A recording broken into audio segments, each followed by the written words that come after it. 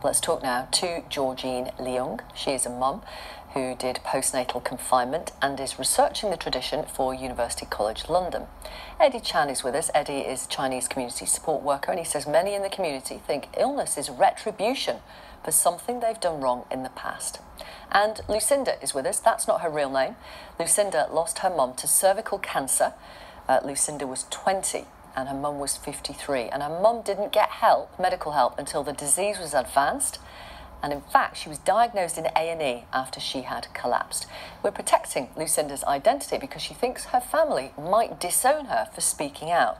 And Lucinda, thank you very much for talking to us. And I'd like to start with that, if I may. Why you think your family might shun you if they knew you were speaking out like this? Um, probably because we don't really talk about our feelings. Um, um, we're quite private people. Right. So, um, y- yeah, you just wouldn't. So is there some kind of shame involved if you do speak out? Um, yeah, because we're quite proud, really. Right. So if you admitting you've got a problem, then you don't feel proud anymore. And that is an issue when it comes to a serious, serious illness like your mum had. You were 18 when your mum found out she had cancer and she just wouldn't go to the doctor. Um, no, so I was. Um, I remember she always went for a cervical smear test, and um, I remember I was 12 because remember I was in year eight at school then. Um, a letter came back saying that that test came back abnormal, um, and she never went back to get it treated. Then three years later, another letter came to the door um, urging her to get it treated. I also urged her to go to the doctors. Um, she never went, and then um, she abruptly told me that she was fine. Um, I was 18, three years later, went to university, um, and then my mum was um, getting really short of breath. Um, and I actually thought she had um, high blood pressure, and I knew she didn't want to go to the doctors. I kept on begging her to go. She wouldn't go. And when I was at uni, um, I went to the Chinese doctor, told him, look, I think my mum's got high blood pressure. She won't go to the doctors. Can you provide something that would treat this? And he did. And I gave it to my mum. She accepted it. She thanked me for it. But little did I know um, that she didn't have high blood pressure, but in fact, quite the opposite. Um, she'd lost that much blood because the disease had spread so far into her body that she was getting out of breath when moving about. Um, How much pain do you think she was in then and she still wasn't willing Um, to seek help? a lot of pain, um, but she just got on with it. We all do, we just get on with it. And that's part of your tradition that you endure and you put up with things. Um, you, you just don't. I'm quite emotional because I'm British born Chinese, um, and my friends would probably say I'm quite emotional. But over the big things like this, um, yeah, we just keep keep it to ourselves. You don't really speak about feelings or um, fears because you want to be proud. Yeah. Eddie, let me bring in, in you. The, I mean, you have a very personal experience of the, the stigma around cancer and not speaking out and not, not informing family and friends. Tell our audience about your son. Um, this actually happened 20 years ago now, uh, when my second son was five years old, and he was diagnosed with childhood uh, cancerous brain tumor. And in those days, my own parents they 50 percent of the time in the UK and 50% of the time in Hong Kong, and they were in Hong Kong then when, when he was diagnosed with uh, cancer. So we told our parents, my parents, and they didn't react to it. And in fact, they didn't say anything. They, they didn't even you know, uh, call me or, or send, uh, send me a letter and ask, asking me what, what happened to, to the grand, grand, grand, grandchild. Why? Why, why didn't they want to know? Why didn't they I- react? I, I think there's a lot to do with um, the traditional Chinese thinking of uh, retribution, stigma. Uh, you must have done something wrong.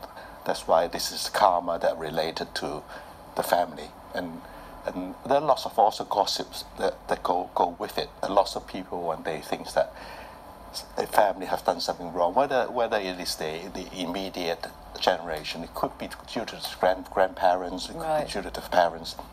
If they, they've done something wrong, they believe that that will be reflected to the generation further down, down the line. What, what do you think of that?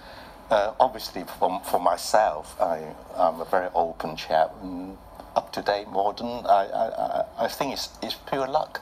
Whether you're a good person or bad person, you can still get terminal illnesses. Mm. I mean, I, I, I know even healthy people, really, really healthy people, can die of coronary heart disease or heart attack. And I don't think it's, it, you know, people are always encouraged, for, for my, my line of work, I always encourage people to live a healthier lifestyle. Of course. Yeah, this is But the, important. the, I suppose the Yeah. issue from all this, uh, Georgine, is, is, is about, uh, about seeking medical help if you know you don't have to put up with the pain you don't have to put up with the suffering um, i want to talk to you specifically about confinement this month that you that new mums stay in their house um, after giving birth and I think you're researching this. There's a belief, I think, that if you do confinement in the wrong way, then there will be repercussions later on in life. That's right. So the belief, the health belief of not doing it right. So not just by doing it, but there's a certain way of doing it. So by not doing it well, there will be repercussions in later life, and that's why it's so important to do it well um, during the month of confinement. But it's rubbish, isn't it? Yeah, so it's very hard to say whether or not any problems in later life would be directly related to the practice of confinement, but the health no, no. belief- It's, it's, it's not hard to say. There, there's Yeah. no link, is there? Am, No, am I in a parallel universe? Eddie, you're, you're smiling. I'm smiling because it, it is true. I mean, I know a lot of non-Chinese. Hmm. After giving birth, they, they could easily take, you know, their one one weeks old baby to the shop in supermarket, and I, I, I, I, I don't know why why they, I mean, this is is it- such a tradition. Is it is it offensive if I say that? If I say there's it's rubbish, that there is no link between the way you do confinement or confinement at all and something that happens later in life? Would that be offensive? I think it goes um, it goes back to the health beliefs. So the set of traditional beliefs that mothers um, would do um, all sorts of different things to make sure that they recover very well to avoid um, going into a state of poor health in the future. And of course, we would never be able to say in 30, 40 years' time if that illness is to do with confinement. Yes, there, there wouldn't be any evidence to do with it, but the attention, the awareness, and being focusing on the mother's health during a period of vulnerability is mm. quite important because often after childbirth, the attention goes to the baby, and mm. very often we forget about the mother's health. Okay, that point, a number of our audience mm. are agreeing with. They're saying actually that, that that might be a really good time to just basically stay in and, Yeah. and bond with the baby. But tell me how not washing your hair has an impact on. I mean, that's one of the beliefs. How is that relevant?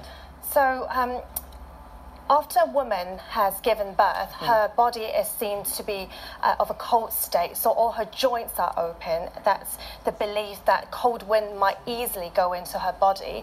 So, by not doing anything um, which exacerbates the coldness goes into the body can help to protect her um, to we, pave we, we way live in for recovery But we live in Britain with central Yeah. heating and, and gas fires and Yeah. stuff. So th- I think that's the issue um, between how do you balance traditional um, beliefs and modern health practices. So from the women I have interviewed in the past, they seem to actually do a, a bit of both. So they don't necessarily do all the restrictions, but they actually adapt to some of the uh, some modern health practices, and they they would adapt to their own. Right. Yeah. And uh, actually, in China, Mm-hmm. some mums don't get out of bed for two weeks and they, they eat a diet rich in calories um, to, to get. f- for what purpose? So food is very important during the month of confinement because that ties into the traditional belief that food is healing and also warming foods are particularly important. So women are expected to follow a set of um, rules, do's and don'ts, particularly eating certain foods and not eating certain foods.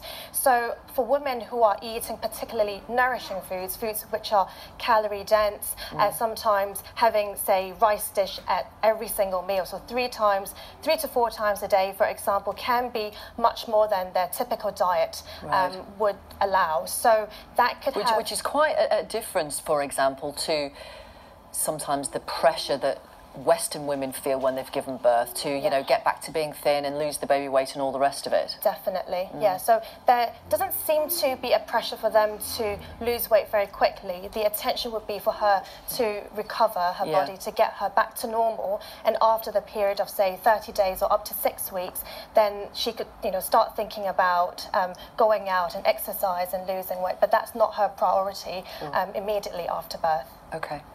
Okay, a, a final thought from all of you. What would you say to any members of the Chinese community watching now who might be in pain, might think there's a, an issue with their health, but are, but are, are not going to the GPs, not seeking help because of traditional beliefs of, of putting up with it and enduring and, and, and, and maintaining your dignity and privacy? What would you say, Eddie? I would just say go and make an appointment to see your own GP. It is so important that you seek help and support when you're, not, you're in pain and you don't feel comfortable and you know there's something not quite right with you. And there's no shame with seeking help, is there? No, it isn't. Yeah. It isn't. What would you say, Lucinda? Um, just echoing Eddie's thoughts, really. Um, go to the doctors, make that appointment if you think that something's wrong, something's not right. Um, seek medical help, and also I think um, listen to your family as well, because they're there to support you. Okay, thank you very much. Thank you all of you for coming on the programme. Thank you. Thank you. Still to come before